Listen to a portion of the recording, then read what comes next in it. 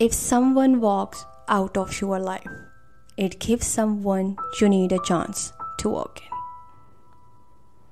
Love yourself and what you do. The only key to success. Your time is limited, so don't waste it living someone else's life.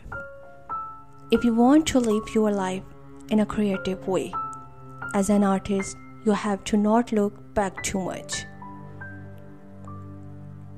Don't let noise of other people opinion drown out your own inner voice. Mistake teach you important lesson every time you encounter one. You step closer to your goal.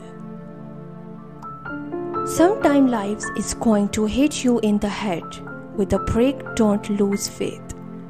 Sometimes when you innovate, you make mistake, it is best to admit them quickly and get on with improving your other innovations.